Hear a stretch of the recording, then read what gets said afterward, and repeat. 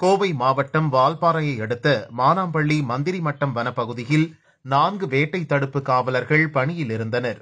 அவர்களை ஒற்றை யானை துரத்தியதில் நான்கு பேரும் தப்பித்து ஓடினர். நீண்ட நேரம் ஓடியதில் ரவிச்சந்திரன் என்பவருக்கு நெஞ்சுவலி ஏற்பட்டது. அவரை வால்பாறை அரசு மருத்துவமனைக்கு கொண்டு சென்றனர். மாரடைப்பு ஏற்பட்டு வழியிலேயே இறந்துவிட்டதாக மருத்துவர் தெரிவித்தார். சம்பவம் குறித்து போலீசார் விசாரிக்கின்றனர்.